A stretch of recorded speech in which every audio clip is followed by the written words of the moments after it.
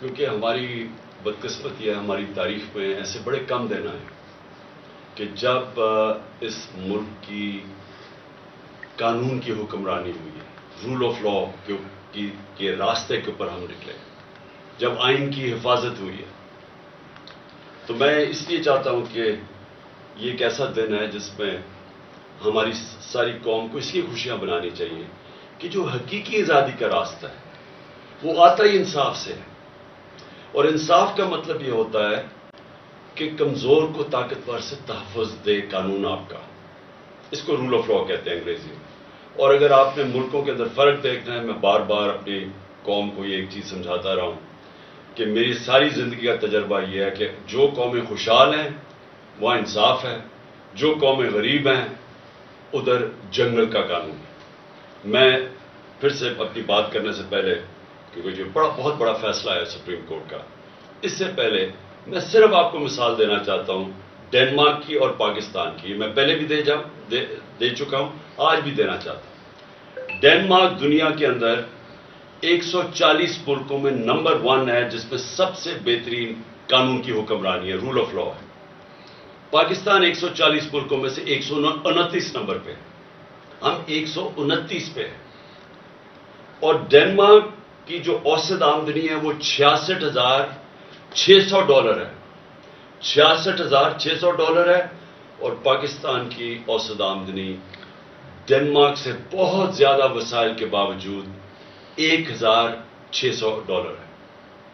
जिसकी वजह से आप देखते हैं, हमारे लोग कोशिश करते हैं उन मुल्कों में जाने के लिए, अपनी जान की बाजी लगा देते हैं कि उन मुल्कों में पहुँचे। वो खुशहाल है। खुशहाली आती है कानून के साथ, इंसाफ के साथ रूल ऑफ़ लॉ के साथ। अब ये जो आज जो हुआ है सुप्रीम कोर्ट में, इस, हमें क्यों खुशियाँ बनानी चाहिए इसकी? क्योंकि आइन क्या कहता था? मुल्क का कानून आइन के ऊपर बेस्ड है। आइन था 1973 का, तिहत्तर का, जिसमें सारी पार्टीज़ ने मुतफिक फैसला किया था एक डॉक्यूमेंट के ऊपर। जो पाकिस्तान का आइन है। आइन कहता है कि 90 दिन के अंदर इलेक्शन होंगे जब आप अपनी असेंबलीज डिजॉल्व करेंगे। ये आइन वाज है इस चीज़ पर। हमने अपनी गवर्नमेंट दो सूबाई गवर्नमेंट्स पंजाब और पख्तूनख्वा की, हमने डिजॉल्व कर दी, हमने वकीलों से पूछा, सारे टॉप वकीलों ने कहा कि कोई गुंजाइश नहीं है नब्बे दिन के आगे। हमने अपनी असेंबली डिजॉल्व कर दी। मुझे तब भी कई लोगों ने कहा कि देखिए जी, यहाँ इस वक्त पाकिस्तान के हालात ऐसे हैं कि इन्होंने आपकी इलेक्शन नहीं करवानी। तो मैं बार बार पूछूँ कि किस कानून के तहत उन्होंने इलेक्शन डिले कर दी? उन्होंने कहा जी, पाकिस्तान में सब कुछ हो सकता है। तो मैं समझता हूँ कि ये बहुत बड़ा चैलेंज था हमारे लिए। हमने अपनी गवर्नमेंट्स डिजॉल्व की। मेरे कई लोग खुश नहीं थे। मेरे पार्लियामेंटेरियंस खुश नहीं थे। मेरे सीनियर लोग पार्टी में जो हमारे कई सीनियर्स थे, उन्होंने कहा कि आपने क्या किया? इन्होंने इलेक्शंस करवाने नहीं हैं। और इन्होंने हमारे बदतरीन मुखालफ मुखालफी को केयर टेकर के गवर्नमेंट के ऊपर बैठा दिया। ये जो पंजाब का सीएम है, इसकी चैनल देख लें, ये सारा वक्त हमारे खिलाफ रहा और दुश्मनी तक उतरा हुआ है प्रोपोगेंडा करता रहा इसको इन्होंने उठा के तो इसने ऊपर बैठा दिया। और उसके साथ वो पुलिस वाले जिन्होंने पिछले साल 25 में हमारे पे तशद किया था, उनको सबको ऊपर बैठा दिया। और इन्होंने जो हमारे साथ किया है, मैं नहीं समझता कि किसी जमहूरियत के अंदर, किसी जमात के ऊपर इतना जुल्म हो जो हमारे पे किया। अभी भी इकतीस सौ हमारे कारकुन जेलों के अंदर। बहरहाल हमने अपनी अदालतों के ऊपर ईमान रखा और हमने अपनी असम्बलीज डिजॉल्व की। हमारे ऊपर जुल्म हुआ। हमारे जिस तरह मैंने कहा लोग पकड़े गए लोग कई मुल्क से बाहर चले गए।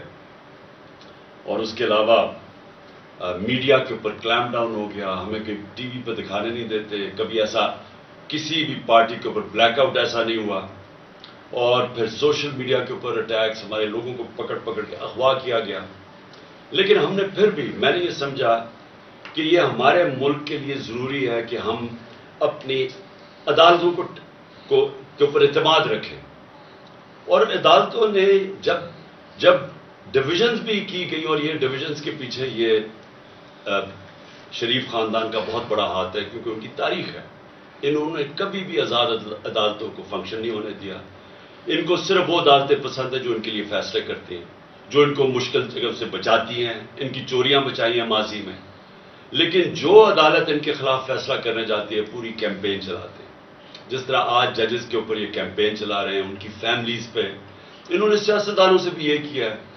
और अखबार, जहाज़ों से तस्वीरें नंगी फेंकी हैं मुखालफी की। इन्होंने टेपें बनाई हुई हैं हर किस्म की उनके ऊपर। इन्होंने हर किस्म का ब्लैकमेल करने का तरीका बनाया हुआ है। तो इनकी तो तारीख है ये। तो इन्होंने उस पूरा प्रेशर डालना था, मुझे पता था अदलिया के ऊपर। सबसे ज़्यादा हमें यह खौफ था कि ये पूरा प्रेशर डालेंगे बेंच को डिवाइड करेंगे।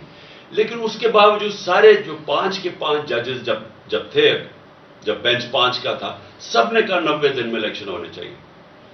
तो जो आज का फैसला है, ये पाकिस्तान की जीत है, हमारे आइन की जीत है, हमारे कानून की हुक्मरानी की जीत है। और मैं ये समझता हूँ कि ये जो अब हम रोड मैप जो हमारा आगे है, इसके अंदर अब जो आवाज़ें उठ रही हैं रोड मैप तो अब इलेक्शंस का है। लेकिन गवर्नमेंट की तरफ़ से जिस तरह की हमने सुना कि जी वो फैसला ही नहीं मानेंगे, ये भी एक नई चीज़ है कि सुप्रीम कोर्ट का फैसला गवर्नमेंट कह रही हम मानते नहीं है। और वो हर किस्म की उनके लोग, उनके सरबरा इनके खिलाफ स्टेटमेंट्स दे रहे हैं। कभी भी एक तरफ़ हमें, हमारे ऊपर इल्ज़ाम लगाए जाते हैं, जी हम अदारों के खिलाफ हैं। हमारे लोगों को सजाएँ दी गई हैं। जेलों में डाला गया कि जी कोई छोटी सी ट्वीट हो जाए जो इदारे के खिलाफ है। लेकिन यहाँ खुल के मीडिया के ऊपर गवर्नमेंट की टेलीविज़न के ऊपर खुल के जजेस के ऊपर अटैक किया जा रहा है। उनकी फैमिलीज़ पे अटैक किया जा रहा है। और उनको इजाज़त दी जा रही है। यानी ये ये क्या है कि एक इदारे के लिए आप एक ट्वीट के ऊपर लोगों को जेल में डाल दें। दूसरों पे वो खुल के मीडिया पे अटैक कर रहे हैं, लेकिन उनको इजाज़त दी हुई है। तो ये भी एक पाकिस्तानी कौम, मैं आपको ये कहना चाहता हूँ कि सुप्रीम कोर्ट के पास कोई फौज नहीं है। सुप्रीम कोर्ट के फैसले की कौम हिफाजत करती है। ये हमारी ज़िम्मेदारी है कि हम सुप्रीम कोर्ट के साथ खड़े। और मैं ये फिर बता दूँ कि हमारी जो आज़ादी है, जो हकीकी आज़ादी है, वो किसने हमें हकीकी आज़ादी देनी है? वो सुप्रीम कोर्ट ने हमारे फंडामेंटल राइट्स की तहफ़ करके हमें आज़ाद करना है। एक कौम तब आज़ाद होती है जब उसके बुनियादी हकूक की, उसके मुल्क के इंसाफ का निज़ाम उनकी हिफाजत करता है। इंसाफ का मतलब क्या होता है? कि कानून के सामने कमज़ोर और ताकतवर एक बराबर होते हैं, जिसको लेवल प्लेइंग फ़ील्ड कहते हैं। यह नहीं हो सकता कि कमज़ोर के लिए एक कानून और ताकतवर के लिए दूसरा कानून। जो आज पाकिस्तान की बदकिस्मती से हम आज 140 मुल्कों में इंसाफ के ऊपर इंसाफ के इंडेक्स पे अगर पाकिस्तान का नंबर एक है तो वो इसलिए है। वो इसलिए है कि हम ताकत, ताकतवर कानून से ऊपर है। वो चोरी करता है, जो भी करता है, उसको एनआरओ मिल जाता है। सिर्फ़ छोटे चोर जेलों में है। ताकतवर को हमारा अब तक इंसाफ का निज़ाम कानून के नीचे नहीं ला सका। कब्जा ग्रुप, मैं बार बार ये आम लोगों की आसानी के लिए कि यूरोप, अमेरिका वगैरह में कब्जा ग्रुप नहीं होते। वो इसलिए नहीं होते? कि वहाँ एक कमज़ोर बेवा अगर होगी और उसके पास कोई, उसकी हिफाजत करने का कोई नहीं है, आदमी कोई नहीं घर में, लेकिन कानून उसकी हिफाजत करेगा किसी की ज़रूरत नहीं होगी उसकी ज़मीन पर कब्जा करने की। लेकिन यहाँ पूरे पूरे कार्टेल्स बने हुए हैं। क्योंकि उनको फ़िक्र नहीं है कानून से, वो जमीनों पे कब्जे करते हैं, बेच देते हैं, मरवा देते हैं लोगों को। अरबों रुपया बना लेते हैं दूसरों की प्रॉपर्टीज़ पे। लेकिन क्योंकि वो ताकतवर है, हम उनको पकड़ नहीं सकते। तो ये जो हमारी जदोजहद है, इंसाफ की जदोजहद ये जो कानून की हुक्मरानी के लिए जदोजहद पूरी कौम को करना चाहिए। ये जो आज का फैसला है, ये सारी कौम के लिए है। ये किसी पार्टी की जीत नहीं है। इलेक्शंस होंगे, अल्लाह करे फ्री एंड फेयर हो। और इंशाल्लाह इलेक्शंस के अंदर हम पूरी कोशिश करेंगे। अवाम को बताएँगे कि हम कैसे उनकी ज़िंदगी बेहतर कर सकते हैं और ये भी बताएँगे, इनको मौका मिलना चाहिए। लेकिन ये नहीं हो सकता कि क्योंकि ये इस वक्त हुकूमती पार्टी सारी खौफजदा इलेक्शन से और क्योंकि आइन कहता है इलेक्शन हो नब्बे दिन में, लेकिन क्योंकि इनको खौफ है कि ये इलेक्शंस के अंदर हार जाएँगे। जिस तरह सैंतीस में से तीस बाई इलेक्शन से हार चुके हैं और इस खौफ की वजह से ये मुल्क आइन तोड़ दें और आइन तोड़ के धमकियाँ दें सुप्रीम कोर्ट को। और जजेस को, और फिर से मैं कहता हूँ, जिस तरह उनकी फैमिलीज़ को ब्लैकमेल कर रहे हैं, डरा रहे हैं, और जो जो, मैं तो सोच ही सकता हूँ कि जिस तरह का प्रेशर हमारे जजेस के ऊपर पड़ा होगा। क्योंकि मैंने तो अपने ऊपर प्रेशर देखा हुआ है इनका, ये जो माफिया है, ये पॉलिटिशियंस तो है ही नहीं। मैंने तो अपने ऊपर प्रेशर देखा हुआ है। इन्होंने ना मेरी जात छोड़ी, ना मेरे घर वाली खातन छोड़ी, ना इन्होंने किसी किस्म का कहीं भी, कोई भी गंद उछालना और जितना नीचे गिरना हर किस्म की इन्होंने ब्लैक में झूठे 104 143 केसेस किए हुए मेरे ऊपर। सिर्फ़ प्रेशर डालने के लिए कि किसी ना किसी तरह इसको जेल में डालो या इसको, इसके ऊपर घर पे हमले करवा दिए, जो मेरे से हुआ है। तो किसी पॉलिटिशियन से आज तक हुआ है? मुझे बताए, पाकिस्तान की तारीख में कभी किसी पॉलिटिशियन के घर के ऊपर अटैक किया हो, जब वो घर ना हो, उसकी बीवी अकेली हो और उसका घर लूट जाए जो जो चीज़ मिले, पुलिस उठा के ले जाए और जो मुलाजिम है उनको मार मार के खुसामे को उठा के जेल में ले जाए। कभी ऐसे हुआ? है किसी से हुआ? 26 घंटे मेरे घर को अटैक किया इन्होंने। और वो सारा गैर कानूनी था। वो वारंट भी गलत थी। वो थी बनी गाला की, और वो भी कोई और चीज़ थी।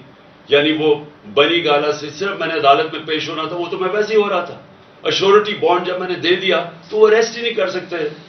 वाजे है जो क्रिमिनल प्रोसीजर कोड का जो सेक्शन 75 है, उसमें वाजे है कि अरेस्ट आपको कर ही नहीं सकते, आप अश्योरिटी बॉन्ड दे दें। लेकिन इनका मकसद ही कुछ और था। 26 घंटे घर को टैग किया, अंदर बैठा नहीं जा रहा था। टेयर गैस अंदर आ रही है। तो ये सारा क्या है? ये कानून कानून के लिए नहीं हो रहा था। ये खौफ सदा डराने के लिए, धमकाने के लिए प्रेशर डालने के लिए कि किसी तरह इसको जेल में डालें ताकि इलेक्शन से बाहर हो। ये सारी पूरी एक, अगर आप ये देखें तो पूरी जब से हमारी गवर्नमेंट गिराई गई है।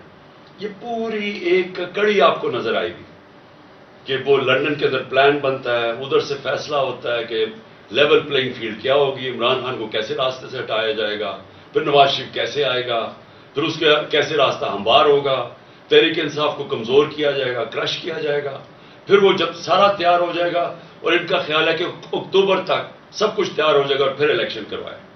इसमें पाकिस्तान का कुछ नहीं है। हमारे मुल्क का कोई लेना देना नहीं है इस लंदन प्लान में। मैंने मैंने तो जलसे में भी कहा मीनार पाकिस्तान में। आप मुझे ये बता दें कि पाकिस्तान का इसमें इलेक्शंस डिले करने में कोई फ़ायदा है? आपके पास कोई रोड मैप है? मैंने स्टैब्लिशमेंट से भी कहा। मुझे यह बता दें, आपके पास कोई मुल्क के लिए रोड मैप है कि जो मुल्क दलदल में फंसे जा रहा है? जो हम हर रोज नीचे गिरते जा रहे हैं, जो माशी हालात बिगड़ते जा रहे हैं, कोई आपके पास रास्ता इससे निकालने के लिए मुझे बता दे, मैं आपके साथ अक्टूबर तक ही इंतज़ार करूँगा इलेक्शन लेकिन जब आज वर्ल्ड बैंक की नई रिपोर्ट आई है कि पाकिस्तान की जो 6 परसेंट ग्रोथ रेट थी जब हम थे, वो नीचे गिर के सिफर इशारिया चार पर पहुँच गई। आज महँगाई के सारे रिकॉर्ड टूट गए हैं। तकरीबन 36 फ़ीसद महँगाई हो गई है जो कि 12 फ़ीसद पे हम एक साल पहले छोड़ के गए थे। पचास साल में महँगाई सबसे ज़्यादा जब ग्रोथ रेट छह फ़ीसद से सिफर इशारिया चार पे आएगी इसका मतलब बेरोजगारों की फौज इंडस्ट्री कॉन्ट्रैक्ट कर रही है किसान इस वक्त पिसा हुआ है। पैदावार पा, पाकिस्तान की जो पहले से जो साढ़े चार परसेंट पे ग्रो कर रहे था हमारा जराई शोबा वो आज आज उसके जरा हालात देखें। जो गंदम, यानी आटा के ट्रकों के ऊपर जो लोग मर रहे हैं, ये कभी पाकिस्तान में हुआ है। तो मुझे ये बता दें कि अक्टूबर में ये कैसे ठीक हो जाएगा। कहते हैं, आज पैसे नहीं है तो अक्टूबर में किधर से पैसे आ जाएँगे? मुल्क का तो दिवालिया निकलते जा रहा है। इनके पास तो जो, जिससे पाकिस्तान की दौलत में इजाफा होना है इंडस्ट्री बढ़ेगी इंडस्ट्री की ग्रोथ रेट हो मुल्क की ग्रोथ रेट बढ़े एग्रीकल्चर बढ़े तो अगर दौलत में इजाफा हो तो आप कहना कि हम अपने कर्जे वापस कर सकते हैं। दौलत तो दौलत तो सुकड़ती जा रही है। तो जब वो सुकड़ रही है तो उनके पास हल किया है इसमें से निकालने का। जब ना हमारे बाहर के लोग कोई कर्जा देने के लिए तैयार हैं, क्योंकि जो हमारी डिफ़ॉल्ट की जो रिस्क है, वो तकरीबन सौ फ़ीसद पहुँच चुकी है। ना वो कर्जा देने के लिए, ना अंदर से कोई इन्वेस्ट करने के लिए तैयार है। तो अक्टूबर किस चीज़ के लिए इंतज़ार करना चाहते हैं? मुझे यह बताए, पाकिस्तान का क्या फ़ायदा है? मुझे आपका फ़ायदा तो ये सोच रहे हैं अपने जेन में कि अक्टूबर तक तहरीक इंसाफ को इतना कमज़ोर कर देंगे और किसी ना किसी ना 140 केसेस में से किसी ना किसी केस में इमरान खान को जेल में डाल देंगे। या एक और भी प्लान बना हुआ कि बिल्कुल ही रास्ते से हटा दो, जिससे मैं एक दफ़ा बच गया अल्लाह ने मुझे बचाया तो या तो ये प्लान, इसके अलावा मुझे प्लान बताएँ क्या? मुझे ये बता दें कि पाकिस्तान का फ़ायदा क्या है। पाकिस्तान का सिर्फ़ फ़ायदा साफ़ और शफाफ इलेक्शन में और दूसरा कोई रास्ता नहीं। अवाम के मुंतखब किए हुए नुमाइंदे, जो कि हमारा आइन है पाकिस्तान का, वो कहता है सॉवरिटी बिलोंग्स टू अल्लाह लेकिन अल्लाह के बाद जो इस मुल्क को चलाएँगे, उसके चोजन रिप्रेजेंटेटिव होंगे, यानी जो पब्लिक के इलेक्ट किए हुए नुमाइंदे होंगे, वो फैसला करेंगे पाकिस्तान का। अब मैं अगली बात ये पूछता हूँ कि ये आपने जो लोग ऊपर बैठा दिए हैं, कभी पाकिस्तान की तारीख में केयर टेकर गवर्नमेंट इस तरह की नहीं बनी। किसी केयर टेकर गवर्नमेंट ने इस तरह का जुल्म किसी एक पार्टी के ऊपर नहीं किया। किसी केयर टेकर गवर्नमेंट ने इस तरह खुल के मुखालफिन की सपोर्ट नहीं की। वो पीएमएलएन के जलसे हो रहे हैं प्रोटोकॉल मिल रहा है सरकारी पैसे पे जलसे कर रहे हैं, उनको डेवलपमेंट फंड्स मिल रहे हैं और हमारे ऊपर इकतीस सौ लोग जेलों में डाले हुए हैं। हर किस्म का तशद हो रहा है। हमारी टीवी के ऊपर बैन किया हुआ है। हमने परमिशन लेके एक रैली कर ली थी। वो रैली के ऊपर इन्होंने एकदम दफ़ा 144 लगा के अटैक कर दिया। हर किस्म की हरकतें की जा रही हैं, किसी ना किसी तरह के तरीक इंसाफ को क्रश करें। केसेस किए जा रहे जैसा मैंने कहा केसेस क्यों कर रहे हैं? हमारे ऊपर ही सख्ती और हमारे ऊपर ही केसेस सारा वक्त हमारा गुजरता है, कभी किसी अदालत में जा रहे हैं, कभी किसी अदालत में अपनी जमानत करवाने जा रहे हैं। टाइम ही नहीं मिलता कुछ और करने का। ये जान के किया जा रहा है। ये लंदन प्लान का हिस्सा है कि इनको उलझा दो इन्हीं चीज़ों के अंदर। और इसी तरह जब ये कमज़ोर होते जाएँ और इनका ख्याल है अक्टूबर तक ये कमज़ोर हो जाएँगे तो तब उसके बाद इलेक्शंस करवाए जाए। लेकिन मैं आज आपको कहना चाहता हूँ कि अक्टूबर में भी हम कमज़ोर नहीं होंगे। कमज़ोर ये हुकूमती पार्टीज़ होंगी। दिन ब दिन लोगों के अंदर इनकी नफरतें बढ़ती जा रही हैं। लोगों ने जो इनको एक साल में इनके हालात देखे हैं, लोग इनको, वो जब ये पब्लिक में निकलेंगे, इनको पहली दफ़ा पता चलेगा कि लोग इनका उनको समझते क्या है। इनको पहली दफ़ा पता चलेगा कि अवाम कितनी नफरत कर रही है इनसे। इसलिए मैं अपनी सारी आज कौम को कहता हूँ कि हमारे लिए अल्लाह ने एक बड़ा ज़बरदस्त एक मौका दिया है इलेक्शंस की तरफ़ जाने का। मैं ये नहीं समझता कि ये सीधी तरह आराम से सब कुछ हो जाएगा। मैं समझता हूँ कि पूरी रुकावटें डालेंगे। और मैं इसलिए चाहता हूँ कि कल ईशा के बाद मैं अपनी सारी कौम को आज अपील कर रहा हूँ कि आपने अपने आइन और सुप्रीम कोर्ट के फैसले के साथ खड़े होना है। आपने एक लोगों को पैगाम देना है, अपने सुप्रीम कोर्ट को पैगाम देना है कि कौम आपके साथ खड़ी है। कौम कानून और आइन के साथ खड़ी है। कौम रूल ऑफ़ लॉ के साथ खड़ी है। और कौम वो हकीकी आज़ादी के सफ़र पे जाना चाहती है जो सिर्फ़ इंसाफ से आ सकता है। और इंसाफ ही इंसानों को आज़ाद करता है क्योंकि वो इंसानों के हकूक की तहफ़ करता है।